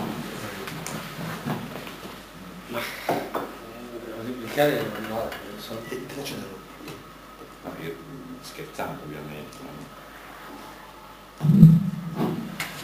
un po' perché sono assolutamente d'accordo con quello che ha detto, po' perché non sono capace, questa è la prima riflessione che mi viene in mente, ancora più sconfortata di quella di prima. Cioè ci sono cose che probabilmente non si riesce a risolvere. Forse è un'illusione pensare che ogni problema ha la sua soluzione. Magari non è così. Io credo che eh, il re Hammurabi eh, risolse il problema, eh, se non mi sbaglio, andando in guerra contro gli Ittiti. E, e questa è un'altra lezione che la storia ci dà. Tante crisi economiche sono state poi risolte eh, mediante i conflitti bellici, no? Perché poi la guerra crea domanda, eh, si comincia attraverso la spesa pubblica, che poi è una lezione che oggi tutti ci stanno ammanendo, no? Che cosa dicono i critici del governo tecnico di oggi? Tu stai strangolando l'Italia perché non dai uno stimolo attraverso la spesa pubblica, cioè crea altro debito per avviare un circuito virtuoso, trascurando il fatto, chiudo qui perché non c'entrano stasera, che questo si può fare in un paese sovrano, un paese inserito nell'area euro non lo può fare perché non dispone di poteri sulla sua moneta. Eh, andiamo su una cosa più, secondo me forse, perdonatemi l'immodestia, il suggerimento più valido che potrei dare stasera, è anche un po' più divertente, esiste un, uh, un gioco strategico che molti conosceranno che si chiama SimCity e um, io lo farei fare a tutta questa gente che va a fare pubblico amministratore, soprattutto pubblico amministratore non politico, eh. I deputati e i senatori lasciamoli a dire le stupidaggini che dicono tutte le sere, insisto sulla parola stupidaggini, non ne senti uno che affronta un problema concreto, eh, sentiteli parlare, se si potesse ridurre a una formula matematica il risultato sarebbe sempre zero. Eh. Ma il pubblico amministratore invece eh, gestisce quattrini. Allora io sono diventato abbastanza bravino nel corso del tempo a Sin City, fallisce sempre. Una città a un certo punto fallisce, perché o stagna, cioè tu non fai ulteriori spese, non la fai crescere, ma i cittadini se ne vanno, perché ha ragione lui, eh, c'è sempre la speranza, ma che cosa faremo? Qualche cosa di più bello succederà, e se non succede niente se ne vanno nel gioco, ma credo anche nella realtà. Oppure se tu cerchi di farla crescere, a un certo punto ti trovi carico di. E sapete che cosa succede nel gioco quando sei carico di debiti? È il momento che ti serve una nuova fabbrica, di, una nuova caserma di pompieri. Ma tu i soldi per comprarla non ce l'hai e guarda caso in quel momento ti va a fuoco la città. E, e, e funziona così, credo, nella realtà. Quando non ci sono soldi, ogni inconveniente diventa una calamità. E quindi, ma che cosa replichi? Forse, anche questo lo dicevamo a tavola, il problema alla fine è culturale, ma non si farà mai. Bisogna fare parecchi passi indietro. Io ricordavo quando ero piccolino, figlio di una famiglia di impiegati statali, quindi soldi degli anni 50 degli impiegati statali, figuratevi un po'. E il nostro giorno cru settimanale era quando mio papà, io, mia sorella, tutte e due insieme andavamo nella pizzeria non lontano da casa e compravamo quattro pizze. Non c'erano allora le custodie di cartone, venivano messe separate dalla carta oleata e le portavamo a casa e mangiavamo la pizza a casa ed era un momento di festa. Era proprio un modo diverso di vivere, non si spendevano soldi, se ne spendevano proprio pochi e si pensava che bisognava risparmiare. Tutto questo non ci pensa proprio più nessuno. La gente fa il mutuo per andare in vacanza, quando ancora le banche te lo davano, eh, più di due anni fa. Allora la soluzione potrebbe essere un ricambio culturale, non lo so, perché comunque se anche ci fosse, noi ogni mese dobbiamo emettere nuovi titoli per pagare gli stipendi. Il debito crescerà sempre, perché la forbice tra le possibilità di economia e le necessità contingenti di spesa è sempre squilibrata. Andiamo a casa a dormire. Ehm, qualcuno vorrebbe fare qualche domanda?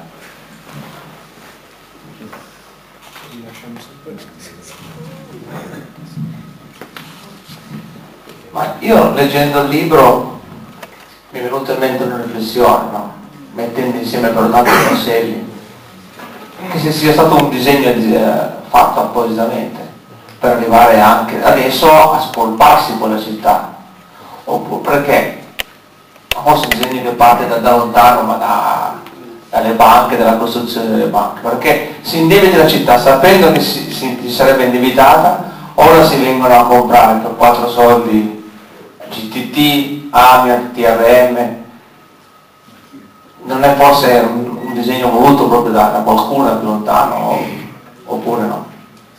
Ma io su questo sono stato stroncato proprio da, proprio da una persona che stimo, che è colui che mi ha anche aiutato, che è appunto è Luca Davico, che mi ha detto ma guarda che dal tuo libro un po' c'è tu dai questa idea di complotto, che si siano incontrati, che ci fossero questi personaggi che si vedevano e decidevano le sorti della città, le mani sulla città, e fa guarda che sei stato troppo complottista, non è assolutamente così, è più pro- lui ancora più dissacrante, lui dice è più probabile che sia dovuto alla sciatteria, al fatto che le cose alla fine vadano così, perché le persone si incontrano e, e così va il flusso della corrente, e così va tutto e poi alla fine si giunge in dei momenti in cui uh, i nodi vengono al pettine sostanzialmente, i nodi al pettine sono questi, mi fa, tu hai dato a queste persone la dignità appunto del complotto, del pensiero, di un'idea.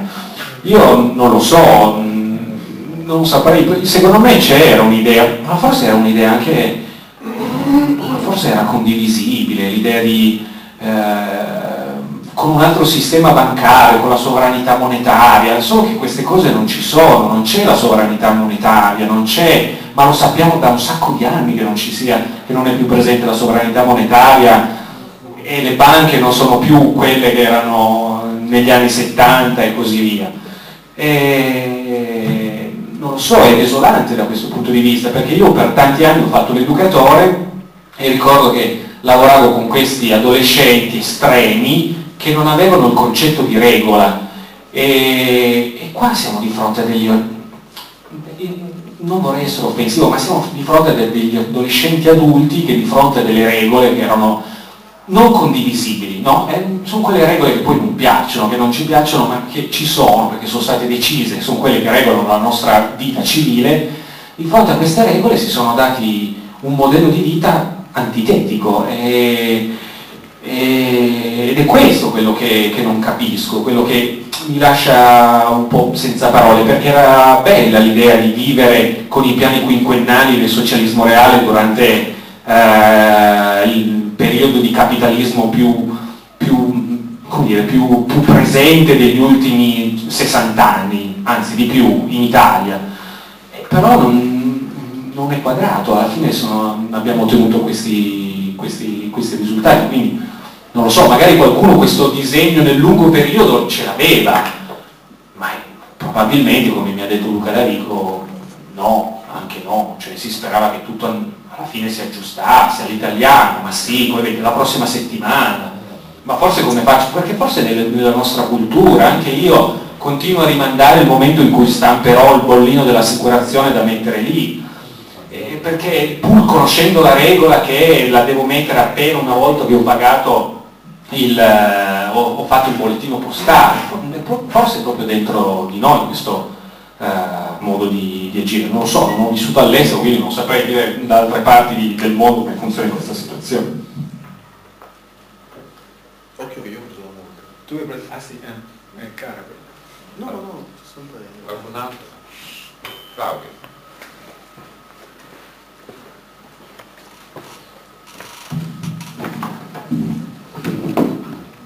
Ma non più è una certa età quindi. Ma eh, so, un annuncio e poche parole. Eh, domani eh, pomeriggio, per chi fosse interessato, nella sede di Pronatura Torino, via Pastrenco 13, c'è un incontro che si intitola Privatizzazioni e Finanza. Ovviamente il titolo è significativo in quanto si parla di tutto il discorso delle privatizzazioni che sono accadute a Torino e il ruolo della finanza in queste privatizzazioni.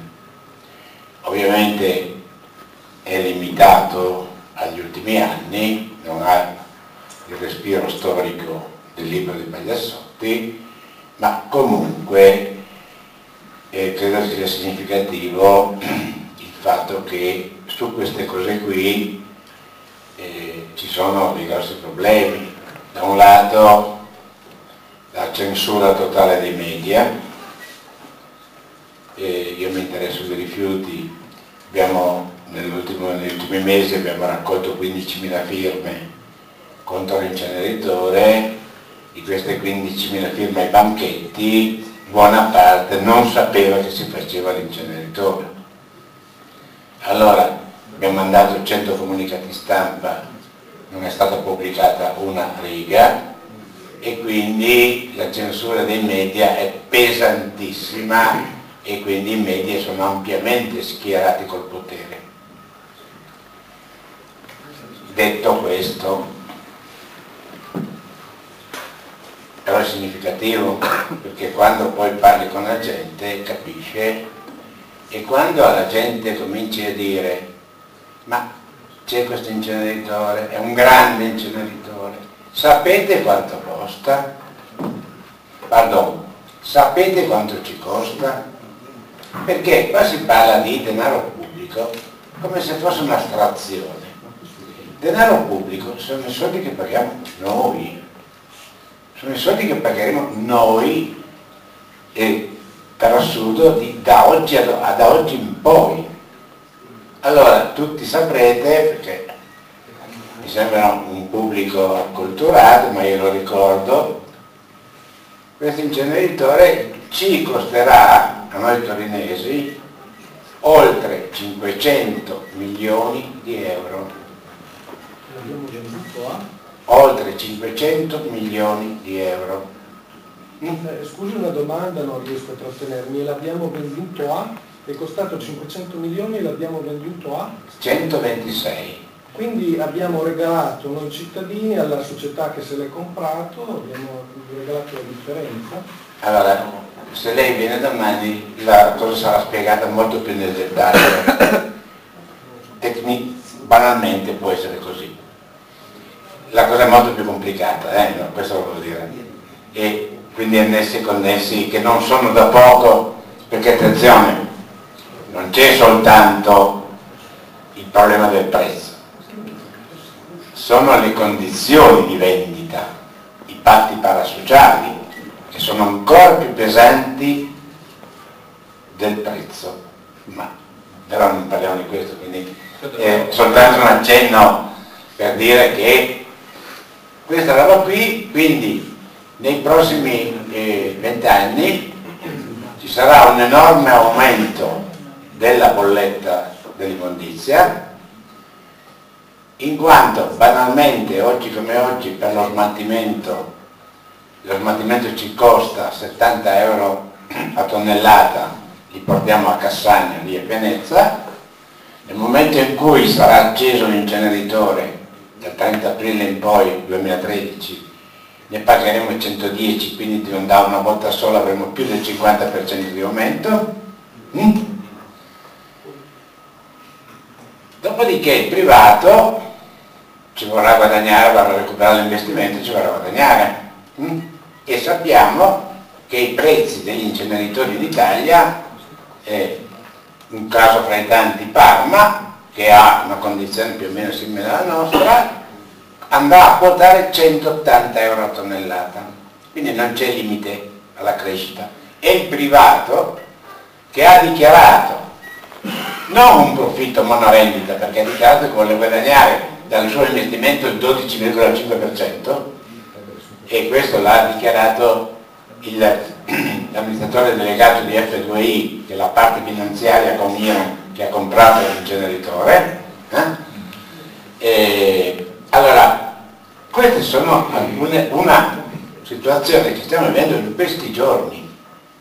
Ieri, ieri sono state, eh, no, sì, oggi sono state aperte le buste, ieri era il- scadeva il limite. Offerta unica. Quindi il privato cosa farà? Avendo eh, completamente in mano la, la ho finito, la questione. Cosa faranno? Faranno una cosa avrà tre leve sulle quali giocare, una è la leva delle tariffa, due la quantità delle- delle- dei rifiuti eh, che vanno a bruciare, tre la riduzione dei controlli che sono quelli più cari. Quindi questa è la condizione nella quale ci troveremo. Spiegato bene dove è domani il posto? Via Pastrengo 13 Torino, chi vuole venire? Alle 15.30. Allora, se non avete altre domande, qualcuno domande da fare? Sì, eh, si è parlato di inceneritore, vorrei parlare di un'altra infrastruttura che in questi ultimi anni ci ha perseguitato, cioè il teleriscaldamento. Secondo me eh, creare del, delle centrali per poi portare acqua calda in giro a 3-4 km dal punto di vista del risparmio energetico è una scemenza. Funzionano anche d'estate, qualcuno ritiene a Brescia che la temperatura media esterna sia aumentata di 3 o 4 gradi d'estate, quindi immaginiamoci noi.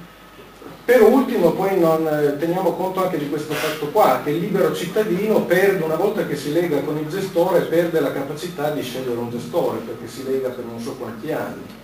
E volevo chiedere poi chi è che gestisce, gestirà il teleriscaldamento a Torino, sarà l'ennesimo privato che questa. Faremo, come si dice in faremo una puntata su questo. Io non sono in grado di rispondere perché stasera parlavamo diciamo, di tematiche leggermente diverse. Potete orientare questo nei piani comuni.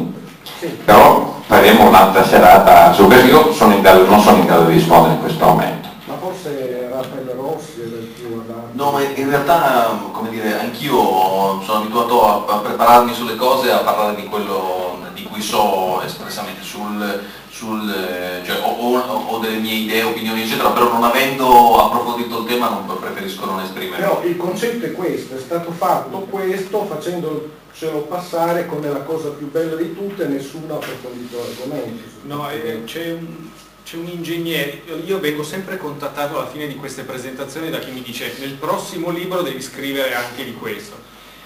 E sono stato in- magari in contatto in un tale, lo posso passare, si chiama Ingegnere Soccavo, che ha un- ha portato avanti degli, delle denunce, mi sembra proprio rispetto a questo- questa situazione, in quanto lui ha certificato degli, eh, così mi ha raccontato, ha certificato delle, dei palazzi nei quali, dove è arrivato il teleriscaldamento, ma il prezzo della bolletta della famiglia ok, è aumentato. Io posso raccontare, posso, raccon- posso fornire il, il- il recapito di questo ingegnere che lui è alla ricerca, anche lui disperata di un, di un qualcuno che lo possa coadiuvare in queste ricerche, ma di più io proprio. Eh, Comunque è una voce diffusa. volevo sapere se fa parte di tutte queste risorse pubbliche e servizi che prima erano della città e adesso vengono... Beh sì, sono, eh, sono infrastrutture di IRA di Quali- queste. quali- Quindi l'IRAN sostanzialmente. Sì. Sì, ma non è che sia privatizzata perché l'IREN è già, già cioè, partecipata da diversi comuni, però è una, IRAN è quella società che è indebita di 3 miliardi pur eh, prendendo No, soldi Meno, IRE ha un fatturato di 3 miliardi e 4 ma un debito di 2 miliardi e 4. Ah, ok. Eh, È già buono, ecco, insomma, è già una cosa interessante. la energetica che dovrebbe guadagnare ci perde, quindi è una gestione perfetta direi. Beh, è un'azienda che fa tre cose, Eh, fa energia a Torino, acqua a, a Genova e rifiuti in Emilia Romagna ed è nata tra- da, da questi tre soggetti, in Emilia sono eh, Parma, Piacenza e Reggio, eh, in Liguria e, e Genova.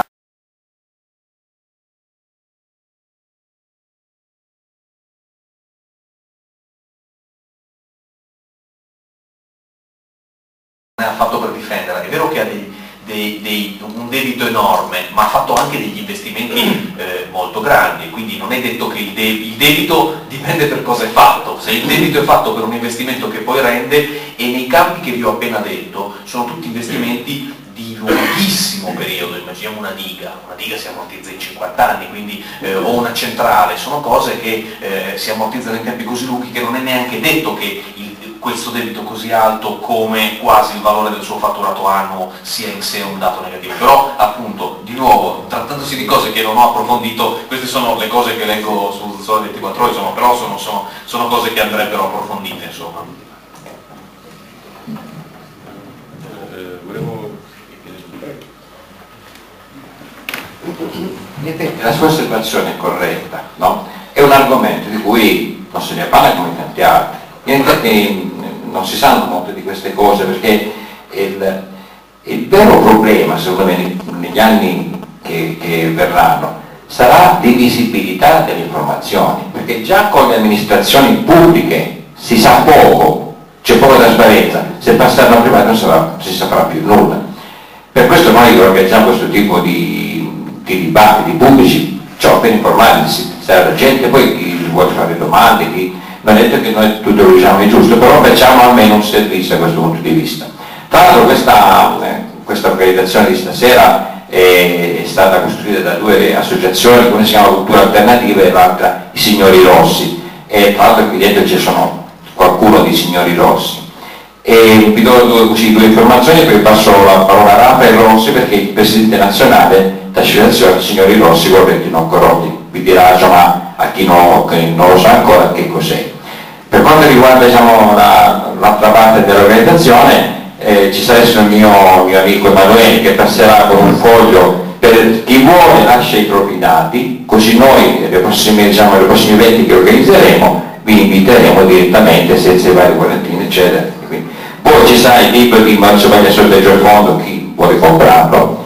Ci sarà anche una cassettina, anche quello un volontariato, perché noi queste organizzazioni facciamo con le nostre spese. Quando abbiamo un po' di soldi organizziamo questi dibattiti, non siamo sovvenzionati da nessuno. Chi vuole lasciare qualcosa eh, non c'è problema. Adesso passo la parola a Raffaele Rossi, vi spiegherà qualcosa sui signori Rossi e qual è la funzione soprattutto.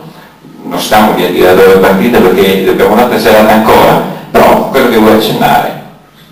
Ma eh, diciamo che il- eh, questa sera una parte del, le- le- la- come dire, l'emotività eh, di questa serata eh, era abbastanza su eh, uno certo sgomento e una certa rassegnazione. Abbiamo espresso dire, il, ehm, la preoccupazione sulle scelte che sono state fatte a Torino. E, mh, la- la- l'associazione eh, dei signori rossi, ma così come anche eh, l'associazione Cultura Alternativa, sono invece dei, eh, secondo me, le soluzioni sono eh, il fatto di trasformare l'indignazione, la rabbia eh, in azione e quindi partecipare, quindi fare delle cose. Eh, il signore prima chiedeva sul, sul ehm, teleriscaldamento, eh, è vero, sono temi sui quali non si, so- non- non si sanno delle cose e secondo me è fondamentale che i cittadini prendano la parola, eh, chiedano di organizzare momenti di dibattito, organizzino momenti di dibattito, parlino eh, e, e facciano. Eh, l'associazione che, ehm, eh, dei, dei signori rossi è un... eh, in realtà è proprio esattamente questa cosa, Eh, alcuni di voi sanno, io eh, mi sono trovato in un, in un episodio di corruzione eh, e, e denunciato eh, processo condanne,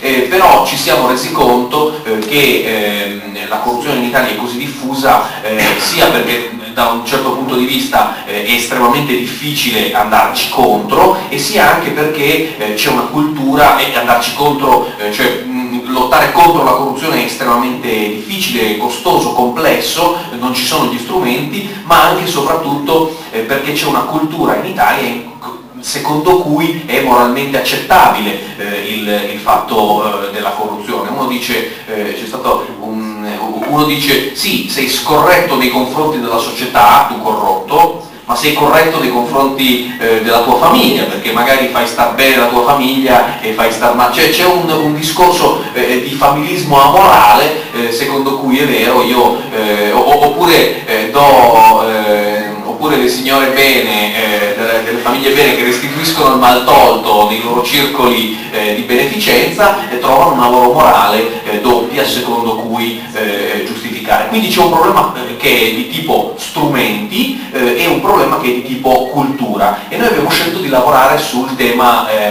strumenti sul tema cultura.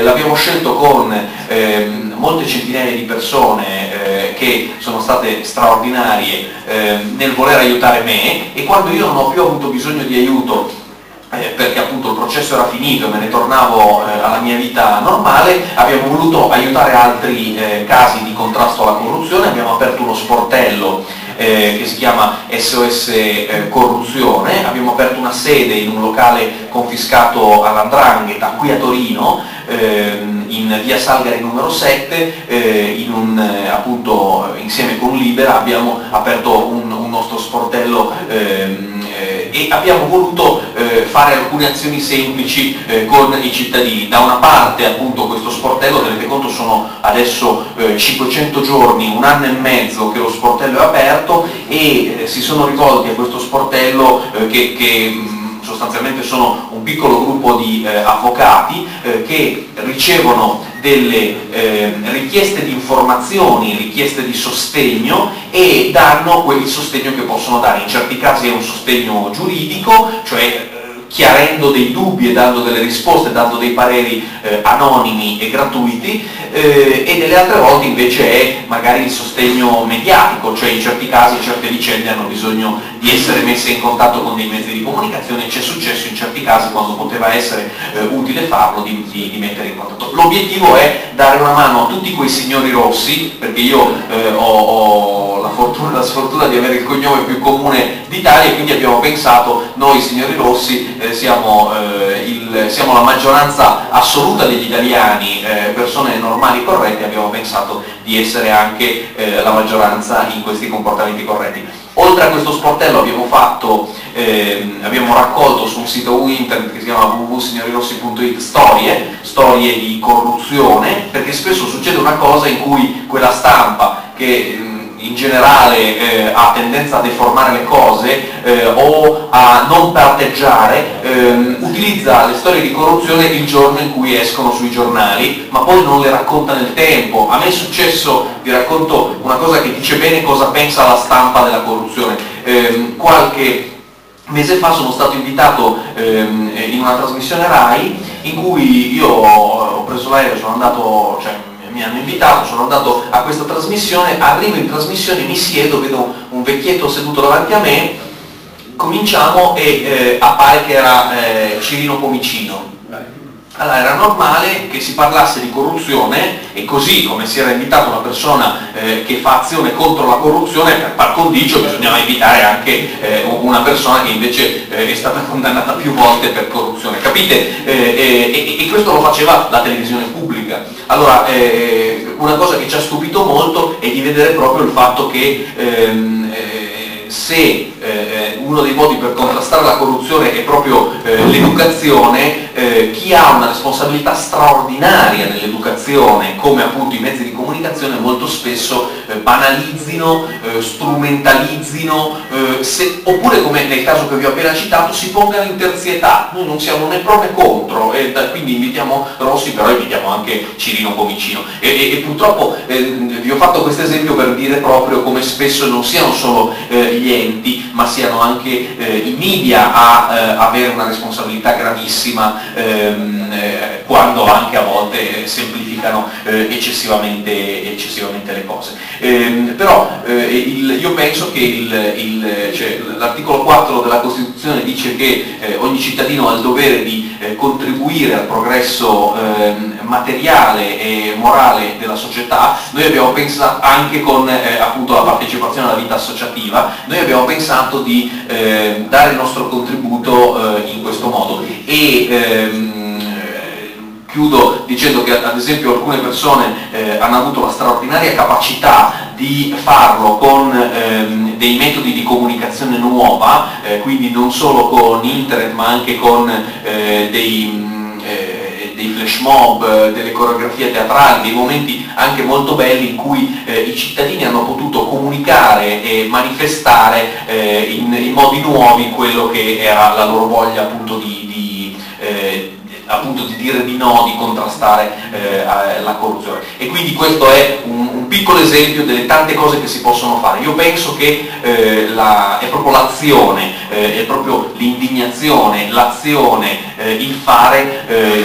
ognuno, nel quale ognuno sceglie eh, i mezzi che, che ritiene l'antidoto a tutti questi, dire, questi malanni, questi disastri che la nostra società attraversa. Grazie Raffaele. Allora ringrazio Raffaele, ringrazio Maurizio Pagliassotti, ringrazio Bruno Tinti, ringrazio anche voi. E se non avete altre domande da fare noi chiuderemo qui. E vi ringrazio perché dietro un evento come questo, dietro un dibattito, insomma, ci si impegna. Noi non abbiamo la struttura di un partito, di una grossa associazione facciamo volontariamente nei nostri tagli di tempo, ci mettiamo entusiasmo e ci mettiamo a qualsiasi cosa che possa servire anche agli altri. Per cui grazie anche della vostra partecipazione e buonanotte. Buonanotte.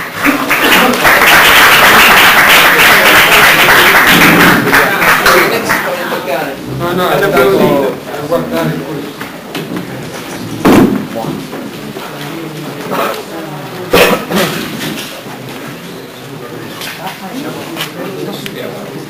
Só para